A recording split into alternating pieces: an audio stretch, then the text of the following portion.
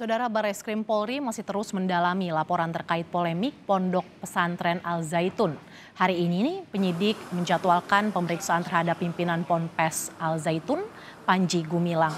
Polisi telah melayangkan surat panggilan pemeriksaan terhadap Panji.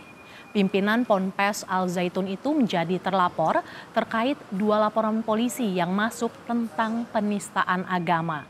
Menurut polisi, sejauh ini belum ada pemberitahuan dari tim kuasa hukum Panji Gumilang untuk mengonfirmasi kehadiran.